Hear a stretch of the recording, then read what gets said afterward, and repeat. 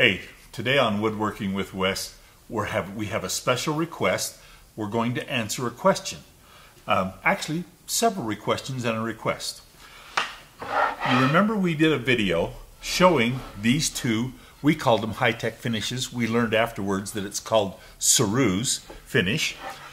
We did another video that showed the process in detail of how we got these two finishes. And we had several requests on, can I redo an old kitchen and make it look like this? Well, I really didn't know. So we did some investigation and some experimenting. I went and I bought an old golden oak door and drawer face just off of a, of a remodel job. Now, a little bit of history you know that I've talked about the fact that I've been a cabinet maker for many years, 45 years. I built kitchens exactly like this for 10 years, 30 years ago. This is something that, you know, you know you've been in the business a long time when you start remodeling your own work. Anyway, this is a kitchen that looks exactly like kitchens I did a long time ago. When we were doing these kitchens in golden oak, oak is a great wood. I love oak. We did a lot of them, like I say. It's a great wood to work with. It machines nice, it sands nice, it holds up really well, it's very durable. And these kitchens that were done a long time ago, well taken care of, last a long time and still look good. But the golden oak has kind of gone out of style. Even though some people still like it, it's still a great finish. I don't have any problem with golden oak, but trendy, it's not. So I went and bought some of these, and I fooled around and I did a Ceruse finish. You can see these two drawer faces right here are exactly the same. And so that's what we're going to do. We're going to take this door and we're going to go through the process that I used on this drawer face to turn it into a nice Ceruse finish, white with black glaze. So let's get started. We started off on our refinish job, we'll call it a refinish, we started off by just wire brushing, a good stiff wire brush, and just wire brushed it. Now, before I wire brushed, I took some lacquer thinner and I wiped out, wiped down my door to wipe off all of the oils and greases and things like that that come from use, years of use. I wiped it all down, cleaned it all off. Now we'll get ready to wire brush. And I'll show you how we wire brush. We'll just go through, we'll wire brush this door, then we'll take it to the paint shop and do the finish. I started off by doing the ends cross grain, and I'll show you why I do it cross grain this way. We started off doing it this way, like this, across the bottom of the door.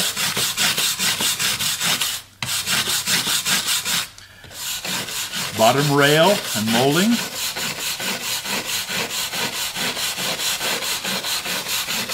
And that takes off, you can see how it takes off some of the old finish.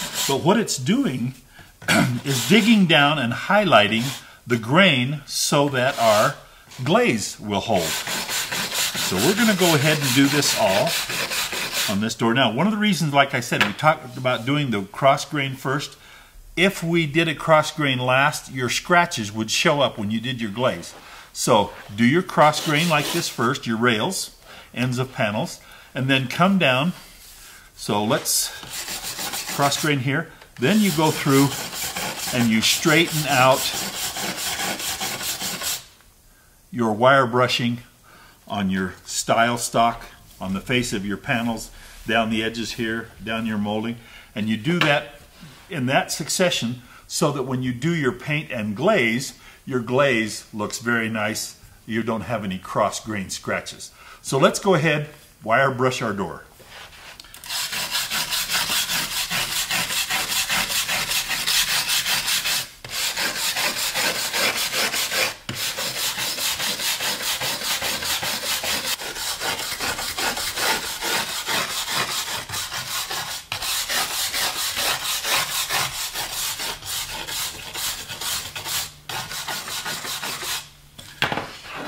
We've spent about 10 minutes now wire brushing this door, scrubbing really good and hard. I want to show you one thing. We had a dent in the door that was fairly significant. If we would have left that, that would have shown up as a big black mark with our glaze. So I filled it. Now I'm going to take the wire brush and wire brush away the putty. And now this is just going to, with the paint, you won't see the dent anymore. And when we put the glaze on it, it'll hide that repair that I did won't show up. And so if you have any repair work on your, on your existing kitchen, fill it, wire brush it, it'll disappear. You'll see when we get over to the paint shop.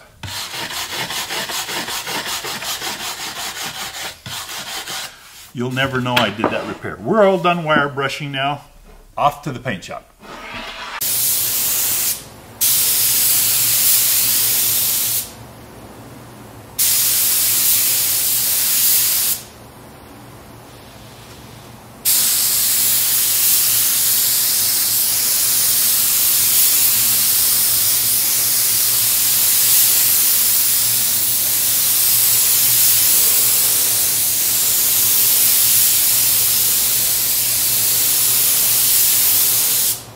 We've just completed giving two coats of white vinyl uh, on our door.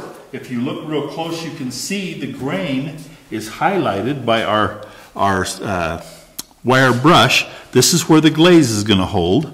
But we're going to go ahead and give this a soft sand now to smooth out our vinyl primer. And then we'll put the glaze on. Now, again, the vinyl primer that I use is ML Campbell vinyl primer and I have it tinted to a color that is specific for a job that I have. This happens to be a job that has the uh, color snowbound. They mix it to match the color that I choose, but it is just a white vinyl primer by ML Campbell. The glaze that we are going to be using, it doesn't say so on the can because it, they mixed me just a quart.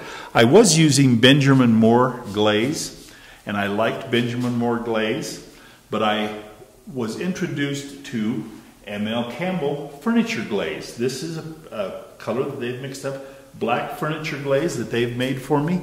I like it a lot better. So I'm going to be using ML Campbell furniture glaze from now on for all of my glazing purposes. So this is what we're going to use for glaze. So we're going to take a soft sanding sponge. We're going to sand our door and then we're going to glaze it.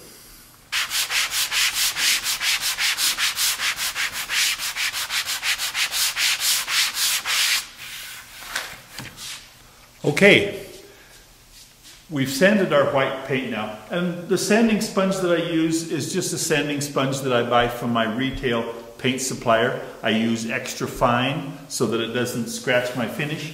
And I just sand it down so it's a smooth. You can see where it powders up on my hand. Now we're ready for glaze. Okay, I'm all sanded. I blew it off, all the dust, so that it would be nice and clean. Now, if you don't have a nice paint shop or a place to paint, just make sure that wherever you paint is well ventilated. If you're painting outside or in a garage or something like that, just make sure that you're well ventilated when you paint and wearing a ventilator mask if you don't have a really good paint shop. My paint shop is set up so that I don't have to have that unless I desire to have it. Where I was just doing one door and talking to you, I didn't wear one. But we're getting ready to glaze now. And I apply my glaze with just a little throwaway brush. Paint it on very generously. Make sure you get down in all the grooves. That's what we're trying to show off.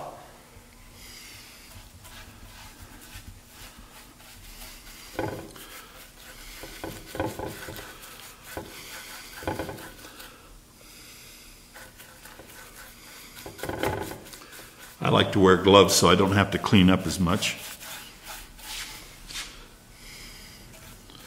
And uh, just paint your glaze on there nice and liberally. I always paint my outsides first so that I can hang on to the door in the middle. And then I paint my middle last.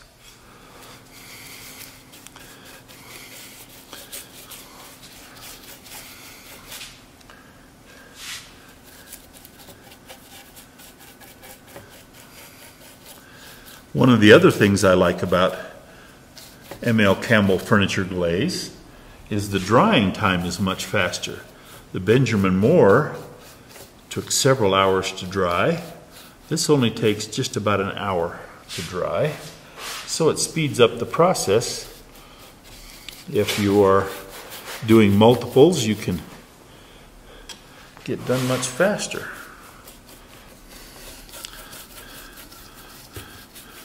Okay, now we're going to go around and wipe, and I just use a paper towel to wipe my glaze. And we're not going to take all the glaze off. We're going to clean up the glaze, but we're going to try to leave a good coat of glaze because we're wanting our grain to stand out. Now see, there's our, we start wiping up and there's the grain starting to show. That's what we're looking for.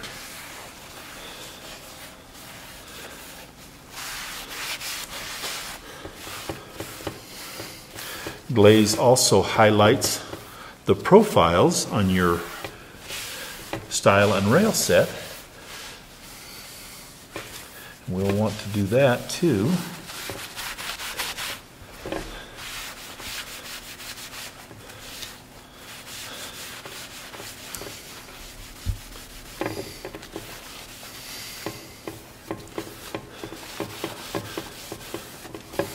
Now there's a trick that makes your white and black really stand out. And I'll talk about that in just a minute. But let's first off, let's get the glaze in here really good.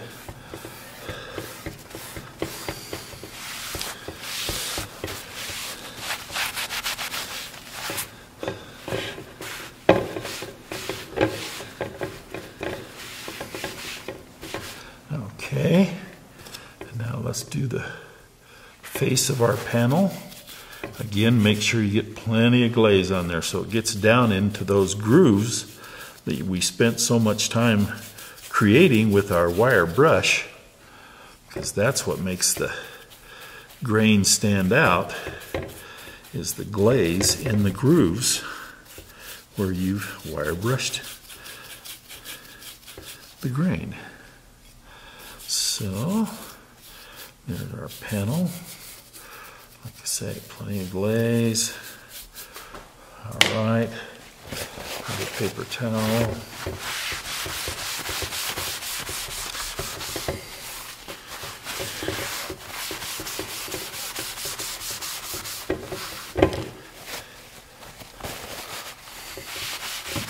The reason I like to use a paper towel, first off, they're inexpensive, and when you get done using them, you just throw them away and it makes your cleanup much nicer, much easier. I use it for my stain and my glaze. Whenever I stain the kitchen, I stain and then I wipe it with paper towels and it's just always worked really well for me. Okay, now that's as far as we're going to go right now. And you can see that that doesn't have the really pretty black and white that we like to show. The trick is we're going to let this dry. We're going to come back with our sanding sponge and we're going to lightly sand and we're going to sand away this kind of cloudy finish that's on top of the grain and leave what is in the uh, the grain that we uh, wire brushed out and it will make it look much whiter and the black to much look much darker. Then we're going to put two coats of clear top coat over the top of it and our door will be finished. But now we've got to let it dry. We'll come back when we're ready to sand. We've allowed the glaze on our door to dry for an hour now and now we're getting ready to clean it up so that it's really white and really black on our paint and glaze contrast. This is the sponge that I was talking about earlier. I'm going to use a little bit different size of, or type of sponge. It's still just a sanding sponge, but it reaches into the profiles a little better. It's just another one that you can buy from your paint supplier. So let's get ready and let's sand and highlight our grain. So let's go along the edge here. Here's our edge profile. See how the white jumps out? Now, it looks like the black is disappearing, but what that is, is that is just a little bit of our paint sanding off into the grain. We'll blow that off with our blower, air blower, and that will take all of that sanding out of there, and it'll darken those lines up again really quick. Oh, look, yeah, isn't that going to be fun? Look how that grain pops out. The glaze in our grain pops out like that. Okay.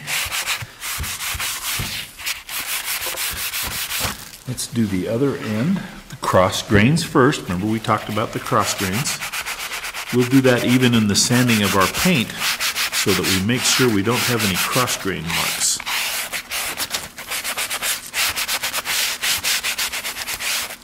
I do that when I sand my lacquer and everything. I always sand with the grain. When I'm sanding my doors after I assemble them, I sand the same way. I always sand with my grain, doing my rails and first, and then my stiles next. And then on my panels, end grain, and then long grain.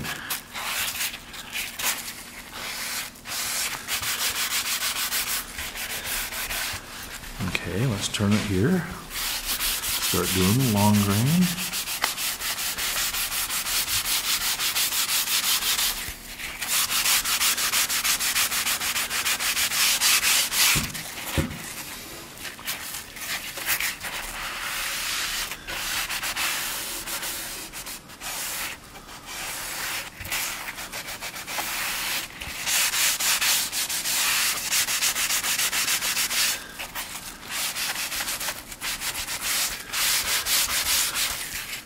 Edges of our raised panel, same way.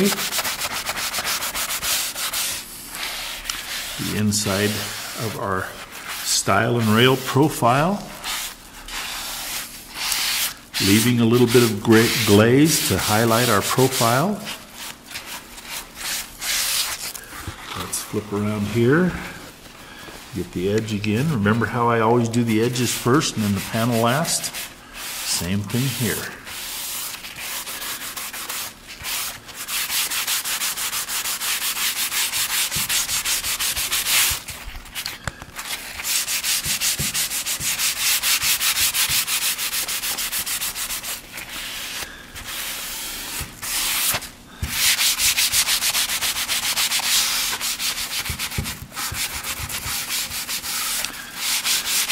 I love the way this is turning out. It really that grain out. That's hard to believe that that was a golden oak door.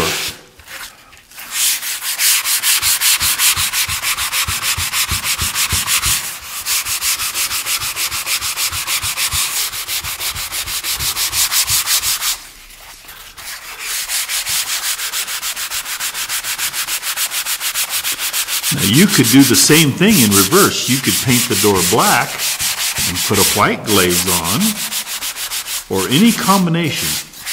A gray paint with a lighter glaze, anything you wanted to do based upon color choices.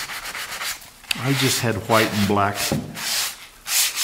as a choice to really highlight the difference. Okay, now, doesn't look like our grain's very bright right now, but let's take it over to our blower and blow off the dust.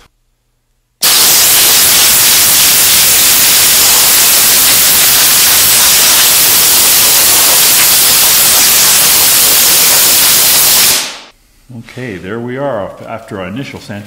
Now I'm going to sand it just a little bit more and see if I can get these places to be a little whiter. I don't know, we'll see. Yeah, yeah, that shows up a little whiter. So we're just going to work on some of those whiter spots there, especially on the panel and on the face of the stile and rails. Get the door to be a little whiter and the grain to be a little darker.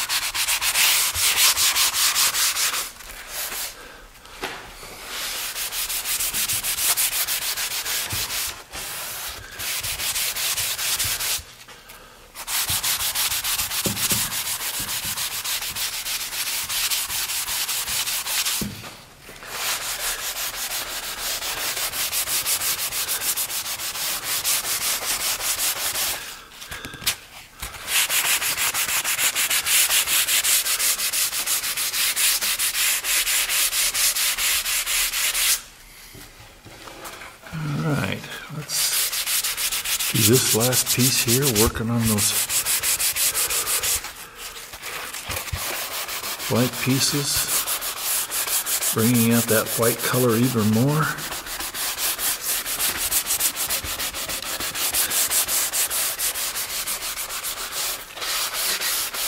A little bit in the panel profile there, but I like the panel profile the way it is. All right.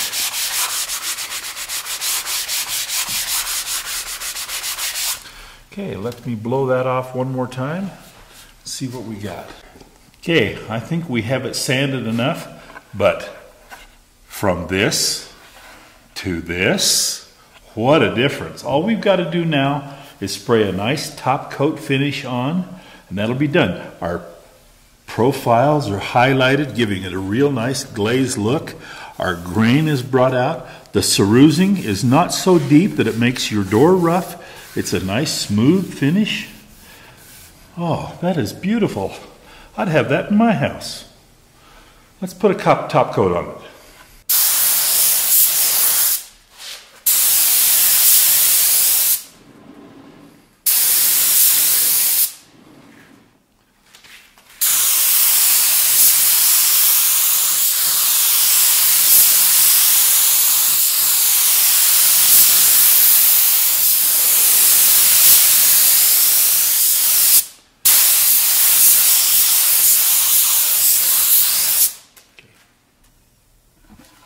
Ta-da!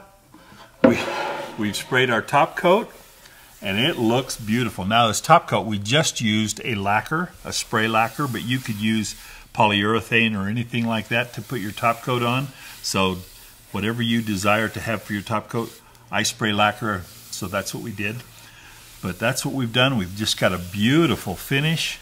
And to be able to go from an old golden oak kitchen to a very nice Ceruse finish, just wonderful. We had a lot of inquiries when we were doing our Ceruse finish.